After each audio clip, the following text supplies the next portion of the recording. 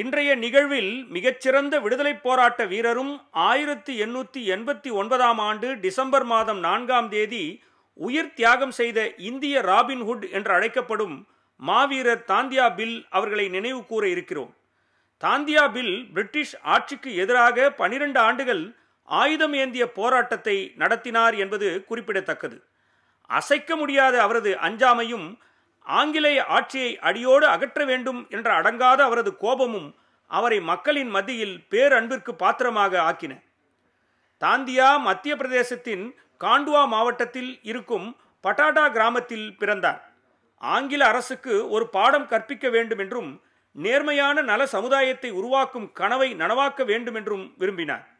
ஆங்கில அரசுக்கு அடிமைப்பட்டிருக்கும் இந்தியாவை விடுவிக்க வேண்டும் என்ற ஆர்வ கனலால் தூண்டப்பட்டார். பலமுறை அவர் கைது செய்யப்பட்டார். ஆனால் பலமுறை சிறையை உடைத்துக்கொண்டு வெளியே தப்பித்து வந்தார். மிகவும் ஆற்றல் மிகுந்த துப்பாக்கி சுடும் வீரரான இவர் கொரில்லா போர் முறையிலும் திறமையுடையவராக இருந்தார். தாவா அல்லது பாலியா இவரது முக்கிய ஆயுதமாக இருந்தது. பின்னாளில் இவர் துப்பாக்கிகளை கையாள்வதற்கும் கற்றுக்கொண்டார். தமது இளம் வயதிலிருந்தே அடர்ந்த காடுகள் பள்ளத்தாக்குகள் குறுகிய கணவாய்கள் மலைப்பகுதிகளில் வாழ்ந்து வந்து பிரிட்டிஷாரின் வாள்களோடும் ஹோல்கர் சமஸ்தான ராணுவ வீரர்களோடும் சண்டையிடுவதிலேயே தம் வாழ்நாளை கழித்து வந்தார்.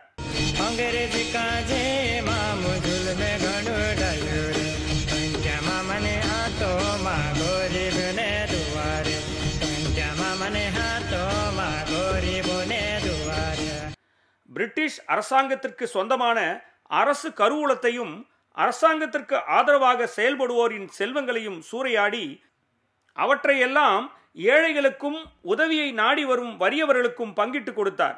எனவே பலதரப்பட்ட மக்களாலும் மிகுந்த பாசத்துடன் இவர் மாமா என்று அழைக்கப்பட்டார். மன்னிப்பு வழங்கப்படும் என்ற வாக்குறுதி தந்த ஆங்கில அதிகாரி தாந்தியாவை வஞ்சகமாக பேச்சுவார்த்தைக்கு அழைத்துச் சென்றார். ஆனால் அங்கே ஒளிந்திருந்த ஆங்கில படைகளால் பிடிக்கப்பட்ட தாண்டியா ஜபல்பூருக்கு அழைத்துச் செல்லப்பட்டார். அங்கே விசாரணை நடத்தப்பட்டது. தாண்டியா ஆயிரத்தி எண்ணூற்றி எண்பத்தி ஒன்பதாம் ஆண்டு டிசம்பர் நான்காம் நாள் தூக்கிலிடப்பட்டார். நாம் அந்த இந்திய விடுதலைப் போராட்ட வீரருக்கு நம்முடைய வீர வணக்கத்தை செலுத்துவோம்.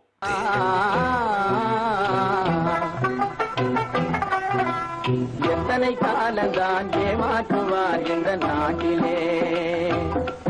இன்னும் எத்தனை காலந்தான் ஏமாற்றுவார் இந்த இன்று இந்திய விடுதலைப் போராட்ட வீரரும் இந்தியாவின் எட்டாவது குடியரசுத் தலைவருமான ராமசுவாமி வெங்கட்ராமன் அவர்களையும் நினைவு கூறுவோம் ஆயிரத்தி தொள்ளாயிரத்தி நான்காம் ஆண்டு டிசம்பர் நான்காம் தேதி பிறந்தவர் இவர். உண்மையான தேசியவாதி சமய சார்பின்மை ஜனநாயகம் காந்தியவாதி கொள்கைக்கான அகிம்சை ஆகியவற்றில் உறுதியான நம்பிக்கை கொண்டவர் வெங்கட்ராமன். ஆழமான மனிதநேய பண்பாளரும் ஆவார். சென்னை மாகாணத்தில் தஞ்சாவூர் மாவட்டத்திற்கு அருகில் இருக்கும் பட்டுக்கோட்டை பகுதியில் ராஜமடம் என்னும் கிராமத்தில் பிறந்த திரு வெங்கட்ராமன் சென்னை சட்டக்கல்லூரியில் சட்டம் பயின்றார். வழக்கறிஞராக இருந்து வந்த காலத்தில் ஆங்கிலேய காலனி ஆதிக்கத்தில் இருந்து இந்தியாவிற்கு விடுதலை வேண்டும் என்ற வேட்கையோடு எழுந்த விடுதலை போராட்டத்தின்பால் ஈர்க்கப்பட்டார். ஆயிரத்தி தொள்ளாயிரத்தி நாற்பத்தி இரண்டில் நடைபெற்ற வெள்ளையனே வெளியேறு என்ற இயக்கத்தில் இவர் மிகவும் தீவிரமாக பங்கேற்றார். இதற்காக இவர் இரண்டு ஆண்டுகள் சிறை தண்டனை அனுபவித்தார்.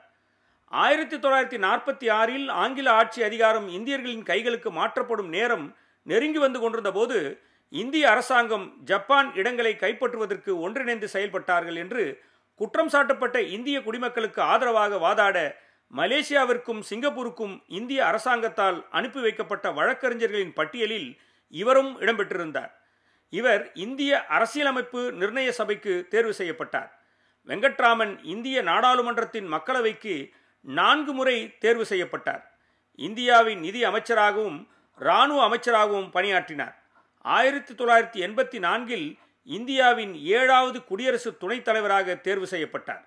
ஆயிரத்தி தொள்ளாயிரத்தி எண்பத்தி ஏழாம் ஆண்டு இந்தியாவின் எட்டாவது குடியரசுத் தலைவராகி ஆயிரத்தி தொள்ளாயிரத்தி எண்பத்தி ஏழு முதல் ஆயிரத்தி தொள்ளாயிரத்தி தொண்ணூற்றி இரண்டு வரை அப்பதவியில் இருந்து பணியாற்றினார். The dignity of the nation and the individual rest in no small measure upon a strong and vibrant democratic institution. These, in turn, or closely linked with certain sound and lasting values in our public life.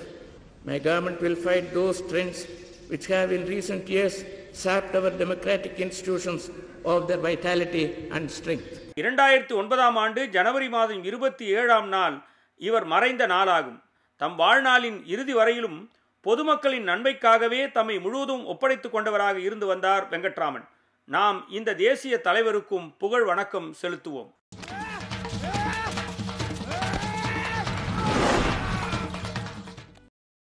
ஆயிரத்தி எண்ணூற்றி ஐம்பத்தி ஏழு December மாதம் நான்காம் நாள் மறைந்த வீர தியாகி பிராங்கோஞ்சி ஷிண்டே அவர்களையும் இன்று நாம் நினைவு கூறுகிறோம்.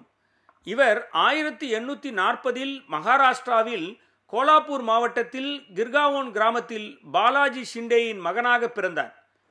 விவசாயியான பிராஞ்சோதி ஆயிரத்தி எண்ணூற்றி ஐம்பத்தி ஏழில் கோலாப்பூரின் மகாராஜா சிம்மா சாஹிப் கைது செய்யப்பட்ட போது கோலாப்பூர் அரண்மனையில் முகாமிட்டிருந்த பிரிட்டிஷ் இராணுவத்தின் மீது நடத்தப்பட்ட தாக்குதலில் தானும் கலந்து கொண்டார். ஆயிரத்தி எண்ணூற்றி ஐம்பத்தி ஏழு டிசம்பர் துப்பாக்கி சூட்டிற்கு இவர் பலியானார். இந்த மாபெரும் வீர தியாகிக்கு நாம் வணக்கம் செலுத்துவோம்.